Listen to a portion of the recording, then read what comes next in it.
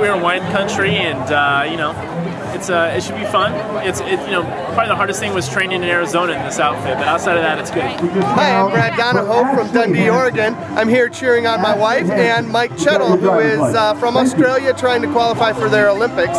So he's training in the U.S. and doing a great job. He's about to come in. It's going to be a good day. He's going to take the win from Oregon. The inaugural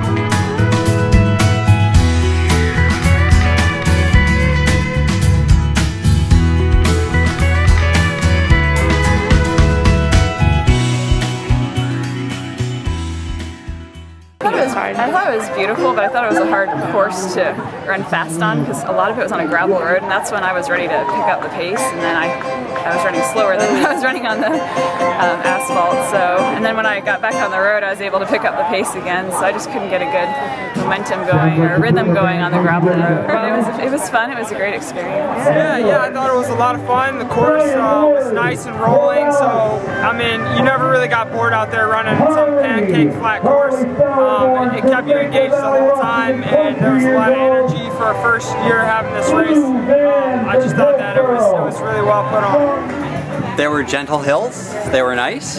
Um, All right, we just got a report. It was um, the gravel part was really nice. Um, the views were nice. And so I uh, had always wanted to come to the Willamette Valley and uh, try the Pinot Noir wine, so uh, that's why I did it. It was a very different experience because it's really small, this one, so um, you could, you know, you felt like you were part of the scenery. Yeah, no, I, I love it. I would love to come back. It was beautiful and, um, you know, the, I, next time I come back to Oregon, though, I'd want to go to the coast and like go all around, have a bit more. I was only here for the long weekend, so. Uh, this one was um, cooler. It was it was not as hot as the one down in Napa Sonoma. Very okay. pretty. Both of them were very pretty scenery you're running through. It's not like running on concrete somewhere. Oh, we love it. Yeah. yeah. Love it. We'd move here tomorrow if we find work. it was awesome. Gorgeous, gorgeous. We